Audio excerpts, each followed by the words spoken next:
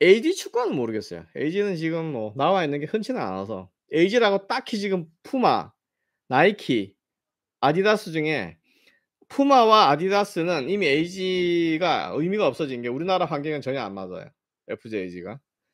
나이키의 LG는 괜찮은데 나이키 LG는 GT나 아니면 TM4나 아니면 머큐리얼이든 개인의 last, 족형과 이 축구화의 last가 잘 일치가 되는 한에서는 괜찮고 그렇지 않으면 안 맞고 대신에 일본 축구화들 rounding stud로 낮게 형성되어 있는 미즈노 네오 그 다음에 뭐 아식스 X-Fly 뭐 이런 것들 이 울트레자 이런 것들은 인조에서 괜찮죠.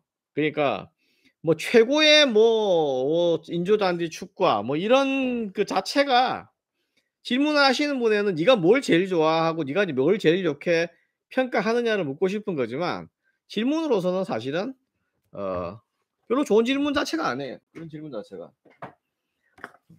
왜냐하면 특정한 발에 잘 맞는 축구화는 다 따로 있기 때문에 개인들마다.